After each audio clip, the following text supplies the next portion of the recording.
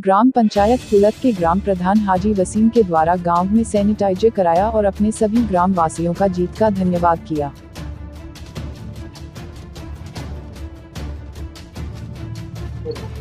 नमस्कार।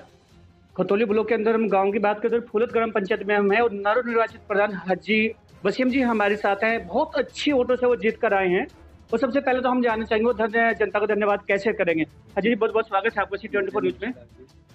मेरा नाम हाजी वसीम ग्राम प्रधान कुलत और जनता ने बहुत अच्छा सम्मान दे करके मुझे 540 वोटों से जिताया है। और सभी पूरे गाँव वालों का मैं बहुत बहुत शुक्रिया अदा करना चाहता हूँ। और उनका बहुत बहुत आभारी हूँ। और ज़िंदगी भर तक ऐसा ही आभारी रहूँगा। अच्छा हाजी जैसे बात करते हैं, ग्रामीण आंचल है, शहर से कहीं बहुत दूरी पे हो जाते हैं हम लोग। तो ग्रामीण क्षेत्रों की अगर बात करते हैं तो शिक्षा और स्वास्थ्य, दो ऐसी अहम चीज़ आ जाती हैं जिनको लेकर हर प्रधान अग्रसर रहता है कि हम ये चीज़ बेहतर करें गाँव में तो किस तरह से शिक्षा और स्वास्थ्य, किस तरह से आप बेहतर करेंगे? देखिए, शिक्षा का ये है कि एट क्लास तक यहाँ हमारे यहाँ पर है और हम लोग जो है टेन क्लास तक उसको कॉलेज बनाने के प्रयास में है। जो हमारे यहाँ एक कॉलेज नहीं है, एट क्लास तक है, अब उसको अब हम बात करेंगे, जैसे भी होगा, वो टेन क्लास तक कोशिश करेंगे, जहाँ तक होगी टेन क्लास तक उसको कॉलेज बना कर रहेंगे बात आ जाती है स्वास्थ्य को लेकर। तो हाजी स्वास्थ्य को लेकर किस तरह से आप आगे स्वास्थ्य को लेके देखिए हमारे यहाँ जो इस टाइम बहुत बुरे हालात हैं गाँव के के स्वास्थ्य में कुछ भी नहीं बहुत कूड़िए वूड़िए जो सफ़ाई व्यवस्था है मैंने कराई वीर पे। और अब भी मैं प्रयास में लगा हूँ अब भी बहुत ज़्यादा सब सफ़ाई सफ़ाई व्यवस्था में लगा हुआ हूँ। गाँव में सबसे ज़्यादा जो फोकस है वो सफ़ाई व्यवस्था का ही मेरा मोल है। बात करते हैं हाजी सी एस सी है पी एस सी गाँव में सी एस सी है पी एस सी है अभी? नहीं सी एस सी है। सी नहीं है। पी एस सी लाने का प्रयास किया जाएगा? प्रयास करेंगे लाने का एक अच्छा हो जाए हमारे गाँव में। कुछ टंकी वगैरह हमारे गाँव में लगे कुछ ऐसे ऐसे कुछ विकास हो हमारे गाँव में। देखो जो भी प्रधान बनता है सड़कें तो उसी की ज़िम्मेदारी होती है बनाने की।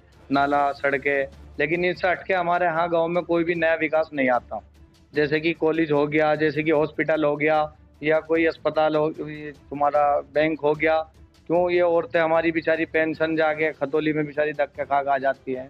तो हमारी मांग है इस तरीके की, भारत सरकार से भी और मुख्यमंत्री जी से भी कि हमारे यहाँ फुलत गाँव में एक अच्छा कॉलेज भी दें और अच्छा एक हॉस्पिटल भी दें। जब प्रधान जी बात करते हैं, जिस तरह से हम ग्रामीण अंचल में कोविड वैसे महाबीमारी चली हुई है, ऐसे में कोविड को लेकर आप किस तरह से जागरूक कर रहे हैं और किस तरह से आपने अभी तक गाँव में सैनिटाइजर सफ़ाई या किस तरह से सुचारू व्यवस्था आपने की है? देखो, हमने पूरे गाँव में सैनिटाइजर बहुत अच्छे तरीके से करा है और दो दो मरतबा करा चुके हैं। और मास्क जैसे भी पब्लिक सिटी है, पब्लिक सिटी में ये है, बिना मास्क के होते हैं, हम लोग उनको टोकते भी हैं, कहते भी हैं कि बिना मास्क के मत घूमो, मास्क में रहो। तो बहुत हमारे गाँव में वैसे कोई पॉजिटिव नहीं था, लेकिन बहुत नॉर्मल है हमारे गाँव में, कोई पॉजिटिव का मामला नहीं आया अब तक। अच्छा प्रधान जिस तरह से आपको एक बहुत अच्छी ऑटो से जीत कर आप लोग आए हैं।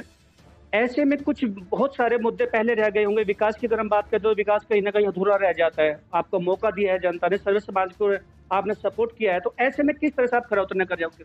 देखो, जनता ने जो विश्वास किया है मेरे पे, जो विश्वास करके इस अहदे पे बिठाया है तो उसका जनता का पूरा पूरा विश्वास ठीक रहेगा। जो जनता के जो काम आऊँगा, पूरा काम आऊँगा। जो भी वादे किए हैं, जैसे कि राशन डीलर है, राशन डीलर अपना काम पूरा नहीं करता, वो पूरा कर पा रहा है।